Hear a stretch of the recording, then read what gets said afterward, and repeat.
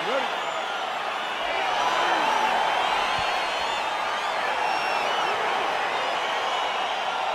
right, so two truly elite strikers here. We sat down with them on Thursday and asked them, any thoughts of taking this fight to the ground? They want to strike. They want to strike. That's what got them to the show. That is the path that they are normally on. And tonight they get someone that allows them to fight in their comfort zone. They don't have to worry about defending takedowns. All they have to worry about is who can rely on their knowledge in the striking to carry them to victory. Look at that leg. Well, really using his reach advantage there with that punch, DC. Ooh, head kick lands and he's Oh, hurt. lands that punch.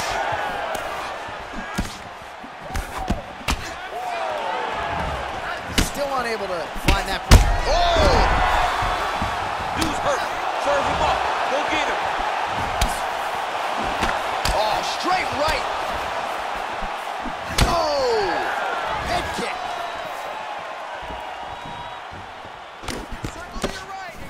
Look at him working at trying to shut the liver down. Straight right hand, no good.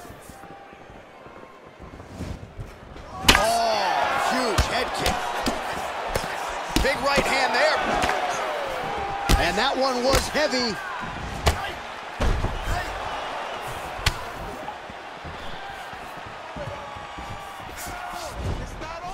Real sneaky body kick. Dig and kick. He loaded up on that right hand, too.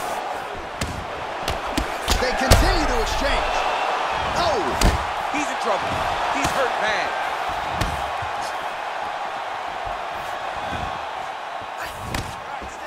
He's very tricky when he throws that body kick. Oh, big left hook there.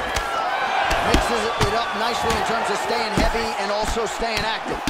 Pretty good strike there, but not a ton of meat on the bone. Kind of looks like me at the Boca Raton Boxing Yeah. District. He's used everything he could early in the fight, and now he's just surviving.